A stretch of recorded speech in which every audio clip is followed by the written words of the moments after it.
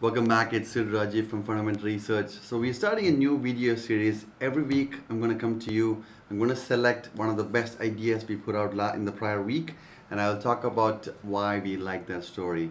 So I'm going to start with the Lumina Gold. Uh, I selected gold because the recent pullback in gold prices we believe offers attractive uh, entry points. Um, despite rising rates, we believe uh, gold prices will be strong due to uh, persistent inflation and that is because of high energy prices and a 40% increase in US money supply since the beginning of the pandemic. So Lumina Gold. This company, this Gold Junior, is backed by Ross Beaty and Ross Beaty owns more than 20% of the company's equity.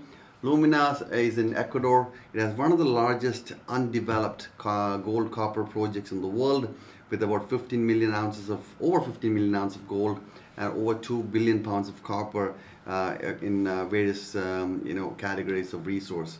Uh, at 20, in 2020, the company uh, completed a preliminary economic assessment (PEA), which returned an after-tax NPV at 5% of 1.6 billion dollars US.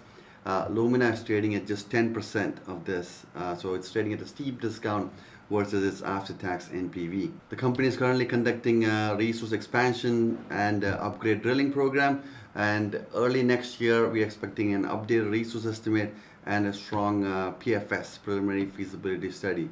And this is why we really like the company. We believe Lumina is a strong acquisition target, especially because it's one of the largest and advanced stage uh, copper gold deposits in the world.